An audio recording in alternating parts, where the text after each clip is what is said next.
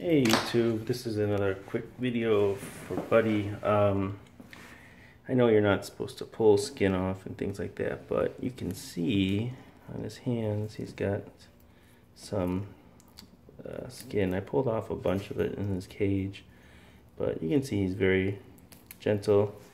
He doesn't care what I do to him.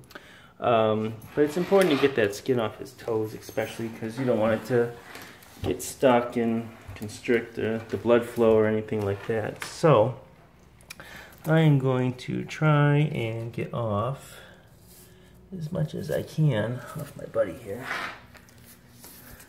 So you can see though, he, um, he lets me do what I want.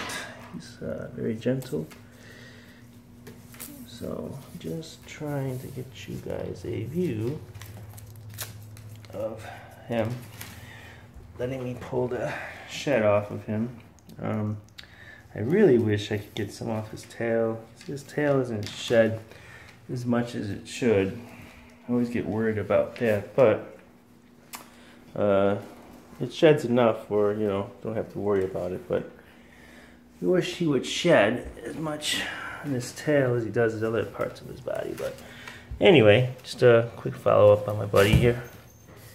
Um, oops. So I'm going to work on him for a little bit and try to get more skin off for him. But thanks for watching.